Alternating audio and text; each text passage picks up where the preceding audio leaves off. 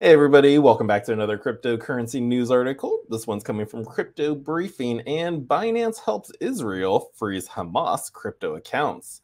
So yeah, the US labels Hamas a terrorist organization subject to Treasury Department sanctions blocking its access to banking. My only question is like, how do they know these people are Hamas? So hmm, I don't know, maybe this article goes over it. So let's find out. So crypto exchange Binance assisted Israeli authorities in freezing crypto accounts affiliated with the Palestinian militant group Hamas. The Israel police reported today that over the past few days, our team has been working in real time around the clock to support ongoing efforts. A Binance spokesperson told the Wall Street Journal regarding the latest account freezes. The police's cyber unit, Lahav 433, worked with Israel's National Bureau for Counterterrorist Financing and other intelligence agencies to identify and freeze Hamas accounts that were being used to crowdfund donations via social media campaigns.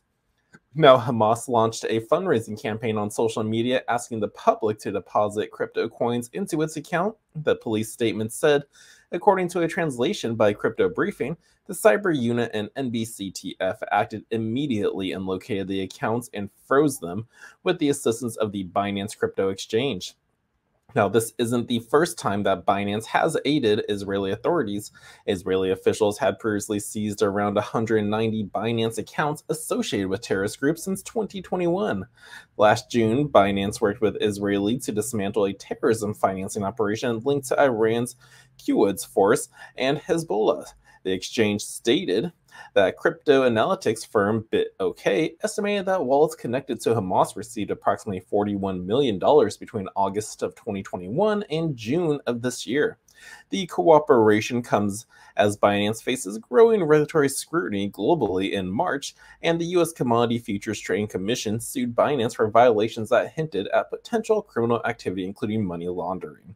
So I guess that is how they found him. Basically, Hamas like posted a, just a public address like, "Hey, send your funds here," and then whoever did send funds had their accounts frozen and blocked. So just another reason well, not just if you're for it, but just just another reason to like not keep your coins on exchange. Not because of all of this, but just because the exchanges have the ability to freeze your account if you do something that they do not like. So it doesn't matter if it resolves this, if it was with the 2020 elections, or if it was with the uh, what was before that. I don't know, but it just it just shows you don't keep your coins on exchanges because if it gets frozen, basically that's just it. You're stuck. So move them to a safe place and in your own possession.